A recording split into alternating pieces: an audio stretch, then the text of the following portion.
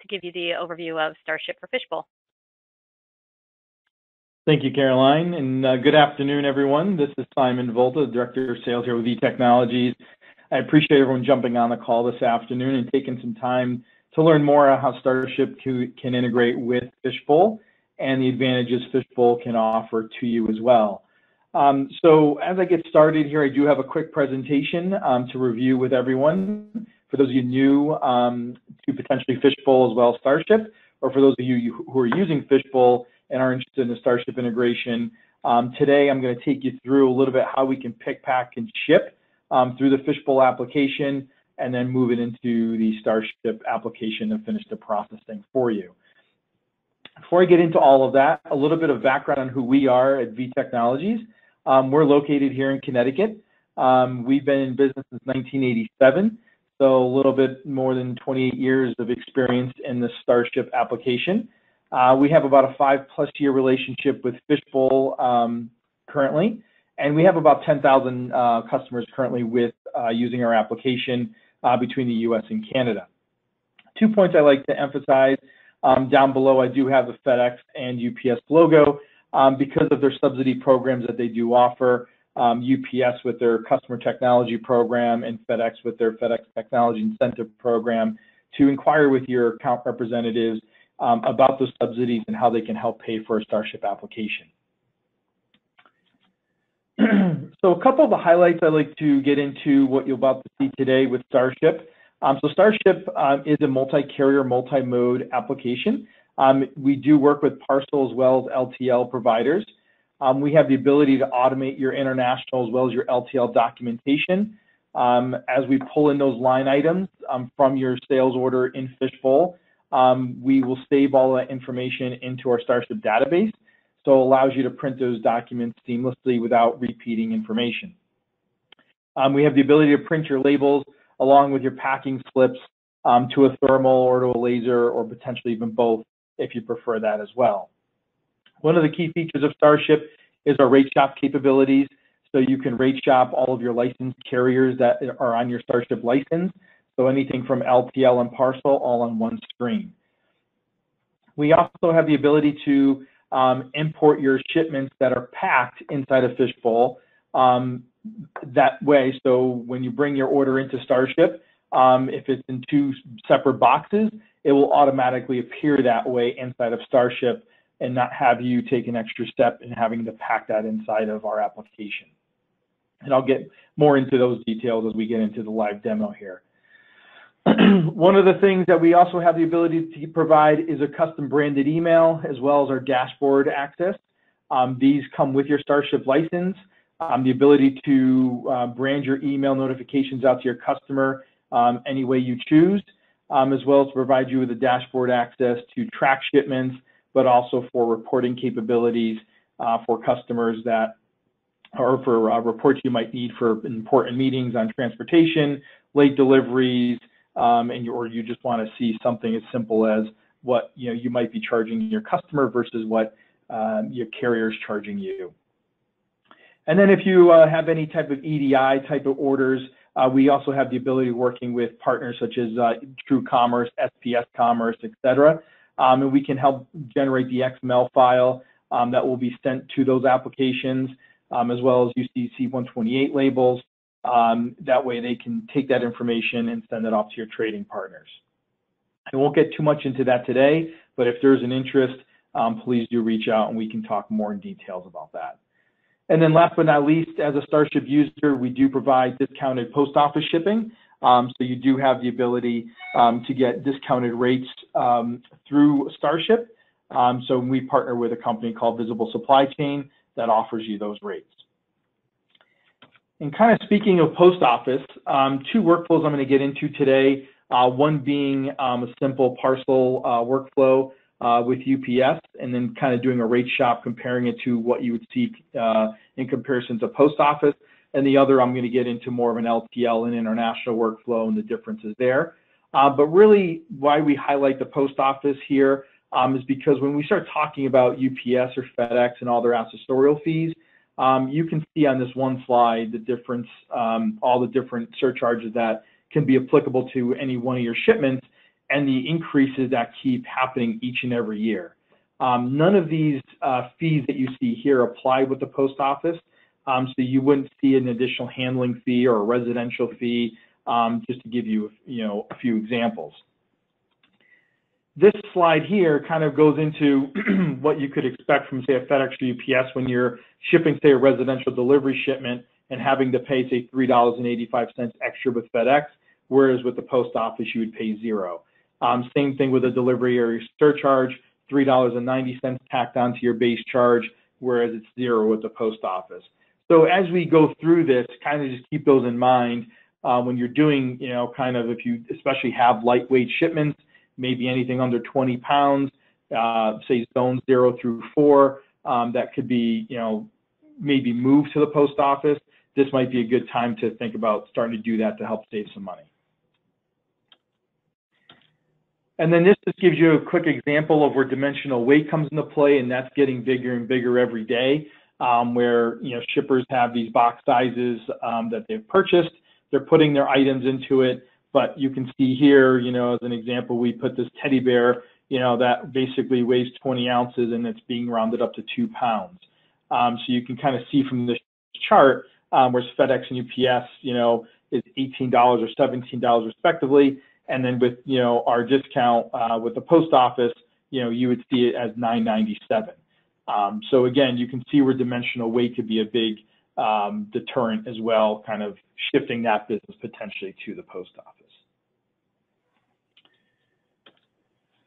As I mentioned, we're going to talk a little bit about international and what Starship has the capabilities of doing, but really we're going to be looking at printing your commercial invoices, um, we do have the ability of printing your uh, SLIs, your shipper letter of instruction, um, generating your NAFTA certificate of origin for your Canadian shipments.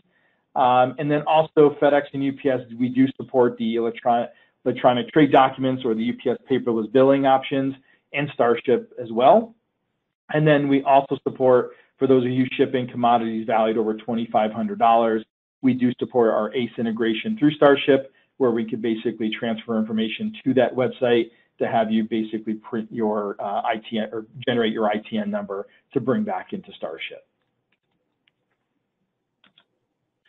This is just a list of carriers that we have direct integrations with today. Uh, so if you see any carriers on here from an LTL or parcel, um, you know, that you do work with uh, in this um, environment, then basically let us know and we can definitely talk more in detail about uh, how we can incorporate that into your Starship application. And one thing I won't get into too much detail today, but I did want to mention, um, we have been developing our e-commerce marketplaces uh, pretty significantly over the last uh, six to 12 months. Uh, so you can see anything on the left of this page here is basically that um, are all the different marketplaces and shopping carts that we have available in production today. Um, anything on the right um, are ones that are about to be released or are in development as we speak. There's a couple on here we are working on um, as well. One being like PrestaShop is, is one we're working on that will be out very shortly as well. So we'll have about a dozen or so different type of shopping cart marketplaces for you to choose from. Um, and the reason I mention this is we do have the ability of what we call e-commerce extension, um, where we can basically update your e-commerce order as well as your fishbowl order uh, simultaneously. Okay, so let me just jump over to my environment here. Okay, so I'm in Fish. I'm going to start in Fishbowl. I'm going to basically show everyone how Fish. For those of you not using Fishbowl and not familiar how to pick and pack inside a Fishbowl, um, I'm going to start there, and then I'm going to take that order into Starship and kind of finish it off with the shipping process for you. So inside of Fishbowl, we're going to create our sales order. We're just going to basically create a new here first. We're going to basically find our customer that we want to ship to. Okay, so I'm just going to choose my customer. I got my customer information here, and then I'm just going to go ahead and add some items that I want on this particular sales order. So you just follow basically the prompts. And I'm just going to go down the list here and I'm just going to pick a couple items. So let's just say, hmm, Actually, let me just do this.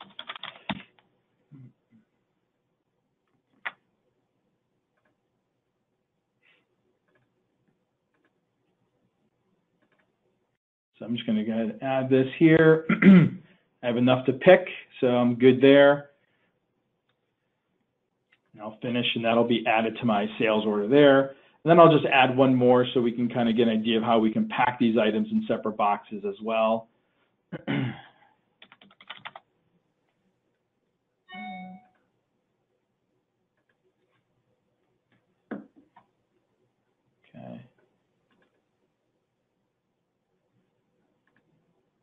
So again, I'll have my two items here basically. So if I'm good here, I'm just going to go ahead and save my order. And I also want to make sure that I put the carrier that I want to have it shipped with. So for this um, illustration, I'm just going to choose UPS. And I'm also going to choose it's going to go out ground for this particular customer, and I'll save this again. Okay, so that'll tell us these are fields that we're going to translate into Starship um, and how those will come in uh, to that application automatically. So once I'm good here, I'm going to move over to, I'm going to issue this sales order. and I'm going to go over to pick. So I got to pick my order now. So I got to go find and make sure I have enough in my inventory to basically pick these two items. These two little green arrows here mean basically that I'm good. I do have enough in stock. So if I really want to, I can click on each one and finish it off. Um, but if I go ahead and click here, I'll click on finish. This will ask me for the serial number that I want to um, choose where it's coming from. I'll select that. Oops, sorry. Finish. And then basically, I will go ahead and do the same thing here on this particular item. Okay, so now I've basically picked my item. Um, I can go over to ship. And now this will be basically creating the shipment doc that Starship will be pulling from and you'll notice that that shipment number here, seven zero is what we just did. So you can see here that mountain bike along with the brake pads that I chose. And now if I want to go ahead and pack this into two separate boxes, I can do that. Um, it automatically put it in one carton, but if I want to add a carton into my shipment, I can go ahead and do that. I could put its you know dimensions here if I choose.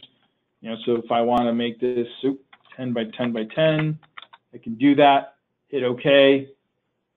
I've now created a second carton and I can simply take these brake pads and move those down. And now I have basically two boxes that will be brought into Starship when I bring this order in. I'll save this. Okay, and just a couple things to note. So your ship to, this will be basically brought into Starship along with the carrier and carrier services has been mapped automatically for you. So those will be brought in as well um, so you don't have to manually choose those. So as I get into Starship here, so this is the Starship application. So a couple things to highlight in the upper left quadrant here. So we have a couple different ways. If your fishbowl pick ticket is barcoded, you could use a wedge type scanner to scan that um, uh, shipment ID number into this field. You could type in the, the uh, number as well, or you could simply do a lookup. When I do a lookup, I can come here, choose my order number 70 that I just did. I would load my document. It's going to load all that information in there for me, as we just saw from Fishbowl.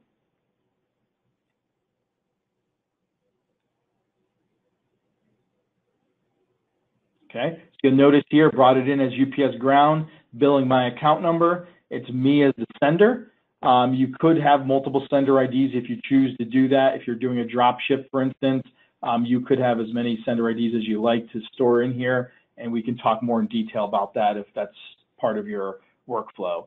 Um, but also your recipient has been mapped as well, what you just saw. And we've also can do an address validation, which will validate the street address, but also validate the commercial versus residential uh, piece of it as well to avoid those address correction fees that you might see on your invoice today. Down at the bottom, um, we basically have our items that we just saw. So your mountain bike and the brake pads are here. You'll notice two separate boxes. They've both been packed. There's no reason to move these around. Um, if you did, for some reason, need to put this into one carton, you would need to go back into Fishbowl to make that change um, or modify the order to bring it back into Starship. Um, but again, because it's packed, um, we can't make any modifications to this inside of Starship. Um, just to highlight a couple of the things on the line item view. So we do bring over your item number from Fishbowl. We bring in your description. We bring in your value as well as your weight um, for that specific unit. And then if this is LTL related, we can store things such as your NMFC uh, code along with your class information and your description. If this was international, which I'll show you in the next workflow, um, we do have the ability to store your Schedule B information, your NAFTA or Certificate of Origin information as well. Um, so that way you don't have to repeat, repeatedly enter this information every order you have for the specific item number. Um, one of the key features is the rate shop, as I mentioned. So if, you'll notice here, it automatically brought it in UPS ground. However, if I wanted to uh, basically do this and rate shop this uh, shipment, I can go ahead and hit shop all here. Um, this will go out and basically rate the um, all my licensed carriers that are on my Starship license and will show me my negotiated rates with each of those carriers. Um, so here I can pick and choose if I want to choose a FedEx over UPS or say post office for that matter. You can do those things inside of uh, this screen without having to re-import the order over again. So as it comes back and retrieves those rates for us, we'll see that here in a second coming up. Okay, Sarah, here we go. Um, so we have basically our um, charges where we can sort by lowest to highest um, by clicking on charges here. You'll notice basically UPS ground was you know fourth in line here, um, but SurePost would come out the least expensive for you in this particular example. If you wanted to ship this priority mail, because if you notice, we also get the delivery times back from the carrier's API as well. You'll notice UPS ground was four days, but priority mail says it would have been delivered in two days. So for an extra, you know, dollar um, roughly, you could get your package there two days quicker. So if you did want to make that change, you could basically select that here uh, on priority mail, and your priority mail label would print at that point in time. So if I want to go ahead and ship and process this order, I can go ahead and hit F5 or the ship and process icon here. This will go out. It'll send the carrier the notification that the package is ready, um, but also um, will print your what we call our smart label. So this is one version that we have that we've created. It's an 8.5 by 11 document that will have your pack list as well as your label attached. Um, but you also have the ability of printing to a 4 by 6 thermal and having your uh, pack list print to a laser printer or the thermal uh, uh, printer as well if you prefer. And then as we do the processing as well, I should mention that we do have the write back that happens seamlessly back to Fishbowl, which I'll show you here in a second as the labels are printing now. So here's this smart label that I just mentioned. Here's basically your label, um, which is package two of two. Um, so again, I mentioned this is the four by six die cut label. Um, we do have the ability of putting your company logo on these if you prefer that, as well as your packing list um, will tell you basically what the item was, along with the order number, how many were ordered. If there was a back order, it will tell you that as well on this particular pack list. But again, we give you a template designer which allows you to basically design this as you please. Um, you can eliminate fields if you prefer. Um, you know, but again, this is something that we, we provide, so you don't have to do this inside of Fishbowl itself. So as I mentioned, we did the write back to Fishbowl. So if I go back to the order here in Fishbowl and I just refresh this, you'll notice if I click on carton one here, your tracking ID from UPS has been put back in the tracking number field. It's also been put up here on the line item. Um, the weight of that particular package, along with its associated cost, has been put back there as well. And same thing on box number two, you'll see that here as well. So the associated tracking number, along with its weight, and along with its associated cost for that particular package. Okay. So as I mentioned, um, we do have one other workflow I'm going to walk you through, and that's our LTL as well as our inter with our international shipment. So let me get back into Starship.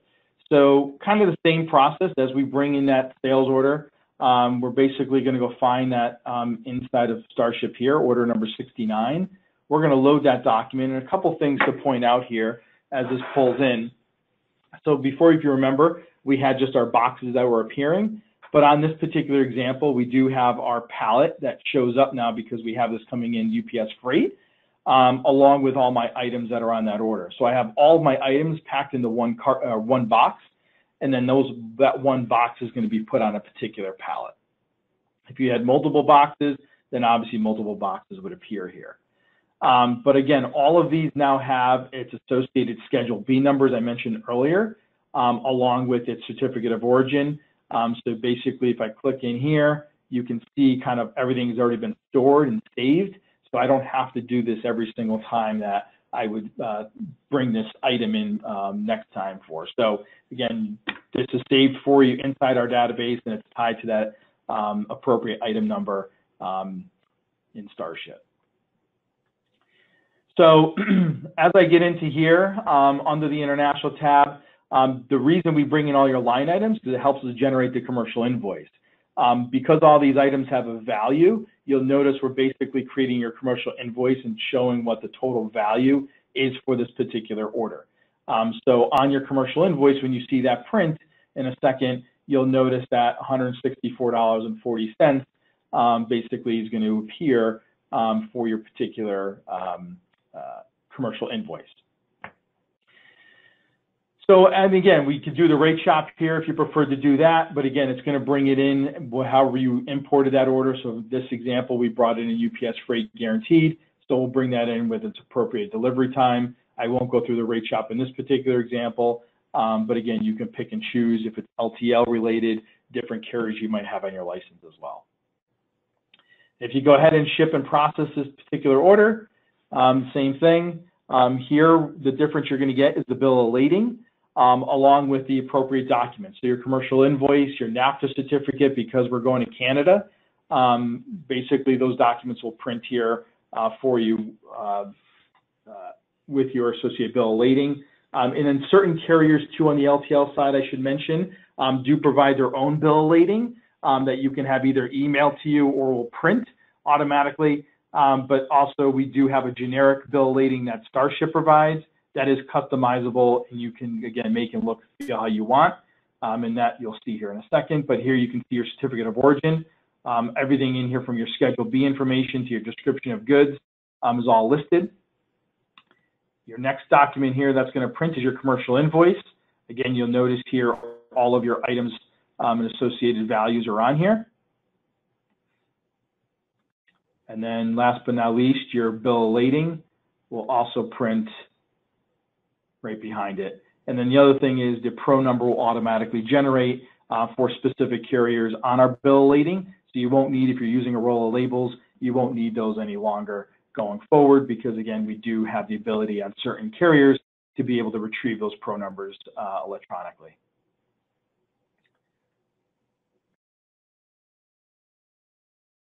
Okay, so if I go back into Fishbowl here and I pull up my order number 69,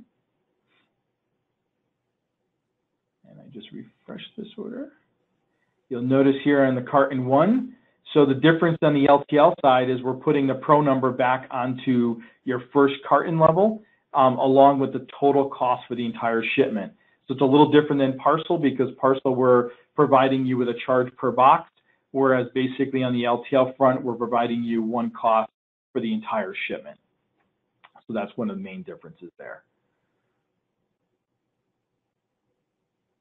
So with that being said, and I mentioned earlier, um, we do have a dashboard access as well as our e-notify uh, tool. Um, and again, we can show those to you if you're interested um, on a one-on-one -on -one basis. Um, unfortunately, I don't have that available today to kind of get into, but again, with the dashboard, you do have access to a bunch of different reporting options, as well as the ability to track shipments regardless of the carrier. Uh, and then with our e-notify tool a way to notify and provide more of a personable uh, notification to your customers uh, for those uh, shipments going out to them each and every day. So at this time, um, I know we have this scheduled for about an hour, um, but I, that is all I do have to review